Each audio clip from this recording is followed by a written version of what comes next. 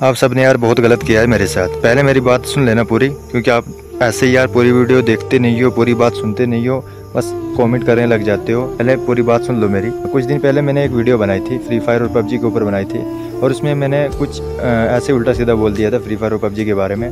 तो जो free fire और पबजी लवर थे, उन्होंने बहुत ही हेट किया मुझे और बहुत ही जो गंदे कॉमेंट किए और गाली वगैरह दी, और यूट्यूब को रिपोर्ट भी मारा। तो उस वजह से यूट्यूब ने मेरी वीडियो को, जो है ना यूट्यूब से हटवा दिया।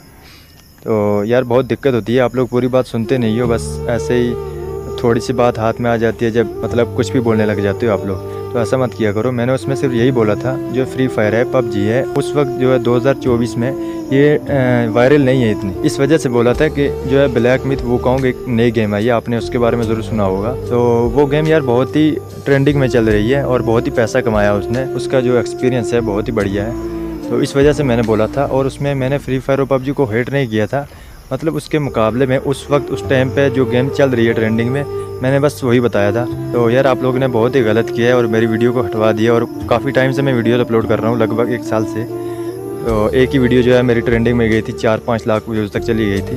लेकिन आप लोगों की वजह से यार मेरी उस वीडियो को भी यूट्यूब ने हटा हटा दिया यूट्यूब से। तो यार ऐसे मत किया करो, पूरी बात जो है सुन लिया करो।